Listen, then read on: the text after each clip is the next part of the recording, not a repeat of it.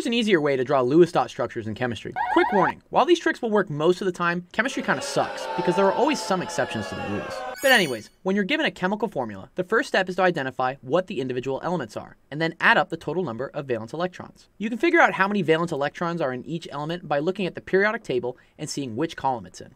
In this case, carbon has 4 valence electrons, and chlorine has 7. Since there are 4 chlorines, this gives us 28, which we add to the 4 from the single carbon to get a total of 32 valence electrons. Now we're going to take this total and divide it by 2 to give us 16 bars that we can use to draw our Lewis diagram. The first step is to draw your central atom, which will usually be the first element in your chemical formula. In this case, it's carbon. The next step is to connect the other elements around it with single bars, which in this case are the chlorines. Doing so, we can see that we've used 4 bars, which means we have 12 left to work with. In general, every atom wants to have 4 bars touching it, so while the carbon already has 4, we're going to have to place the remaining bars around the chlorines, so that they each also have 4. Now we've used up all the bars, so we're done. The last step is to replace the bars that don't connect elements together with two dots. These are what we call unpaired electrons. Now let's try something harder. Here we have N2H4, which we're going to do the same thing in adding up the total number of valence electrons, dividing by 2, and getting 7 bars to work with.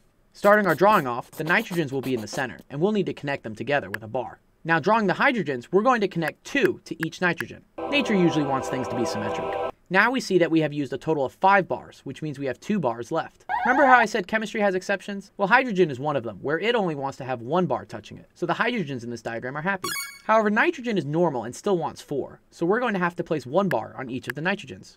Now we've used up all 7 of our bars, and every element is happy. Last step is to again replace the non-connecting bars with two dots, and you're done. Sometimes you'll need to use multiple bars to connect elements together. These are called double bonds and triple bonds. In this example, we have NO2-, which has 17 valence electrons from the nitrogen and the oxygens. But the minus on the whole formula means that there's an extra electron hanging around, which is what gives it a minus 1 charge and 18 total valence electrons. Dividing by 2, this gives us 9 bars to work with, which we're going to start to connect the central nitrogen to the outer two oxygens. Our next step is to try and use up all the remaining bars by first placing them on the outside oxygens and then on the central nitrogen. While now we've placed enough bars on the oxygens for each of them to have 4, the problem is that we have run out of bars to make the nitrogen happy, and it only has 3. The trick here is that whenever you run out of bars, try borrowing one of the non-connecting bars from an outside element and use it to create a double or triple bond to the central element. In this case, we're going to borrow a bar from one of the oxygens, it doesn't matter which one, and create a double bond to the nitrogen. Now the nitrogen has four bars, the oxygens both have four bars, and everyone is happy. Perfect. Last step is to draw the dots, and you're done. And there you have it. That's how to draw Lewis dot structures in chemistry. Nice!